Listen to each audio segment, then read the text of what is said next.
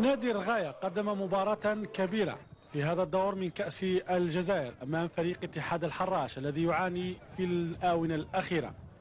البداية كانت قوية من جانب فريق نادي الغاية تمكن من افتتاح باب التسجيل بواسطة اللاعب المتألق النوبلي الذي قدم مباراة كبيرة تليق بمقام وسمعة نادي الغاية فريق نادي الغاية قبل هذه المباراة لم ينهزم في أي مباراة في بطولة الدرجة الثانية للهواة اتحاد الحراج ضيع العديد من الكرات الأولى كانت عن طريق سليم بومشرع ثم محاولة ثانية خطيرة عن طريق باعوش.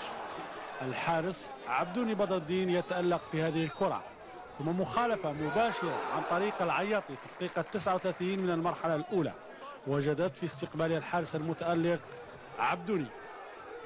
المرحلة الثانية. بدايته كانت بهذه الطريقة وهذه التسديدة عن طريق هندو.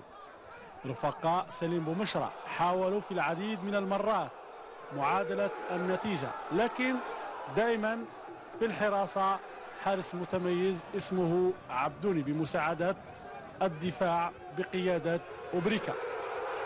وتأتي الدقيقة السابعة عشر من المرحلة الثانية وفيها يتمكن فريق اتحاد الحراج في العودة في المباراة. وذلك بفضل هدف بعوش. اتحاد الحراش واصل ضغطه في هذه المباراة وفي هذه الدقائق الأخيرة وكرة بوعلام لم تجد طريقها إلى الشباك. آخر محاولة في هذه التسعين دقيقة القانونية. كانت هذه المخالفة من جانب فريق نادي الغاية لكن بدون نتيجة. نتيجة التعادل هدف لهدف كانت هي الفاصلة. ثم اللجوء إلى الوقت الإضافي من مرحلتين.